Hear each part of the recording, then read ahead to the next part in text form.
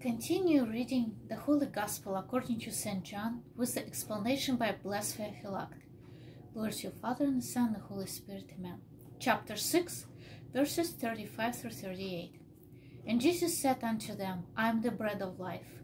He that cometh to me shall never hunger, and he that believeth in me shall never thirst. But I said unto you, that ye also have seen me, believe not. All that the Father giveth me shall come to me, and him that comes to me I will in no wise cast out. For I came down from heaven not to do mine own will, but the will of him that sent me.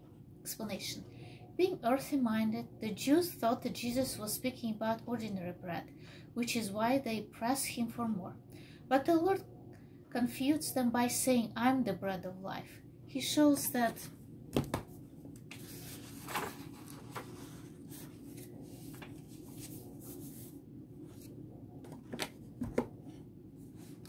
They sought only material benefit from him and would stop following him as soon as they realized that what he offered was spiritual.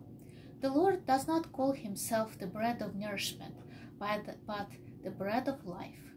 When all mankind was spiritually dead because of sin, Christ, the spiritual bread, brought us to life again by leathering the lump of our human substance, making it like unto himself, and baking it with the fire of his divinity.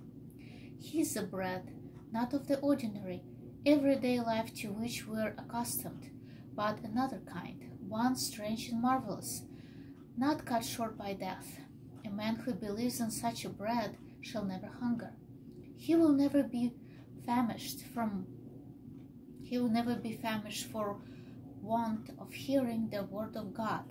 He will never suffer the spiritual drought of deprivation of the waters of baptism and the sanctification of the Holy Spirit. The unbaptized, the unbaptized are parched with thirst, having no share in the refreshment of this holy water, while the baptized have the Holy Spirit and are continuously refreshed. To show that the faith in Christ is not acquainted, acquired by chance, but is a gift from God, bestowed by the Father on those who are worthy and upright of heart, the Lord declares, All that the Father giveth me shall come to me. This means the Father gives me those who believe in me. You Jews, being unworthy, are not given to me by the Father. This is why you do not come to me. You are not upright of heart. If you were, God the Father in his love for you would lead you to faith in me. And him that comes to me I will in no wise cast out. This means I will not destroy, but will save him and prepare him to benefit from my delight care. For I came down from heaven, for no other reason than to do the will of the Father. The Lord is teaching the Jews that a man who does not receive him is an enemy of God who opposes the will of the Father.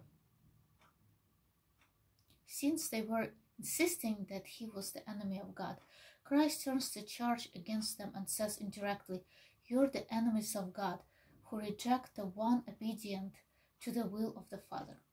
This refutes Nestorius, who claims that Christ became divine after the resurrection.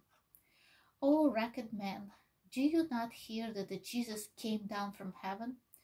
He who descended from heaven must be God. A man cannot descend from heaven.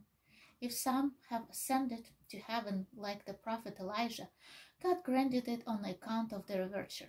Because his descended preceded his ascent, it is evident that Christ first descended from heaven as God, condescending to be made man, and then as man ascended in the flesh into heaven, where he was before as God, where he, as God.